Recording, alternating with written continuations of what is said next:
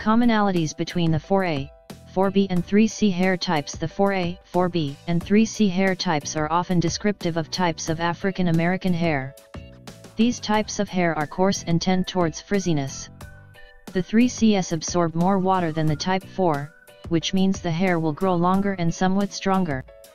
Unfortunately, type 4 hair contains fewer cuticle layers than the other hair numbers, meaning it may be more difficult to grow long. Type 4 hair is delicate and can break easily, so extra care should be taken when combing or styling. Breakage will be a major issue for the 4A, 4B, and 3C hair types. Implementing wide tooth combs is one of the best methods for breakage control.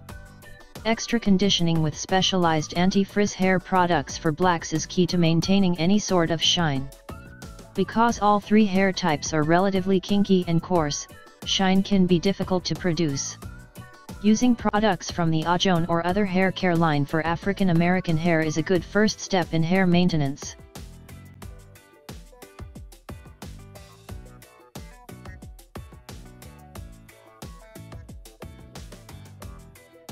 Subscribe us to know more hair growth treatments and tips.